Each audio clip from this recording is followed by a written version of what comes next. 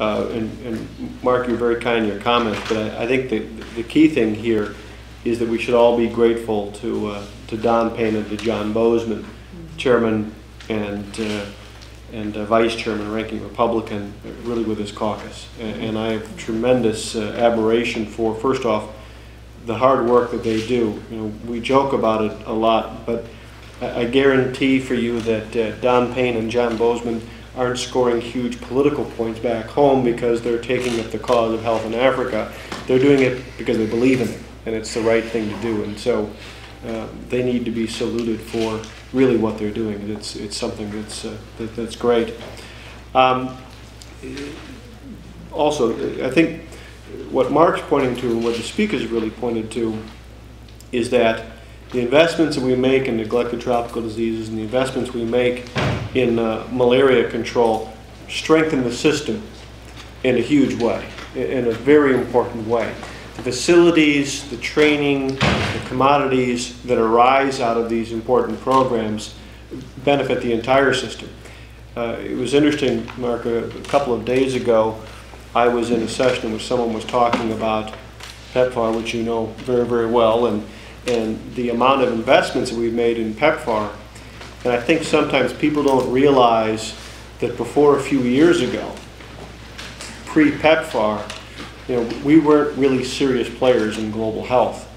But the, uh, quite frankly, the explosion in American investments in fighting global health that emerged through PEPFAR under your leadership and with PMI is remarkable and has really changed the course of, of human history on the continent and is something that, that uh, Americans should be very, very proud of.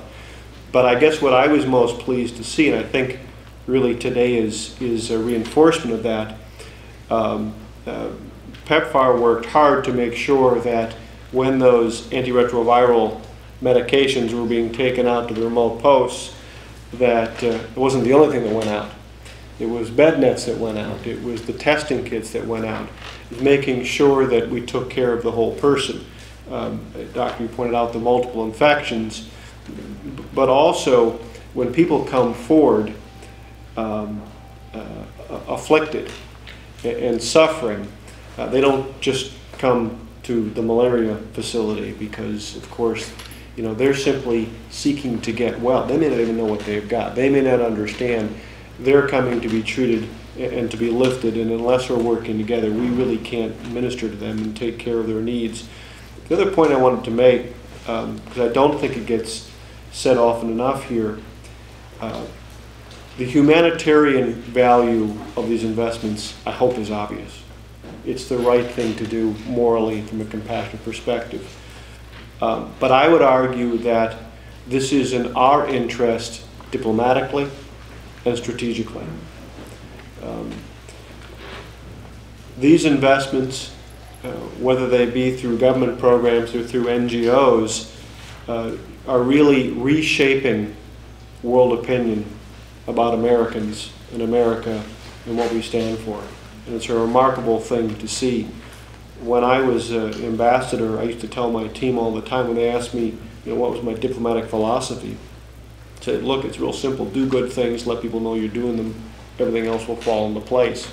And so we used to emphasize the investments that were done for global health because that's what mattered to the Tanzanian people. They were suffering, and we wanted them to know that we were there.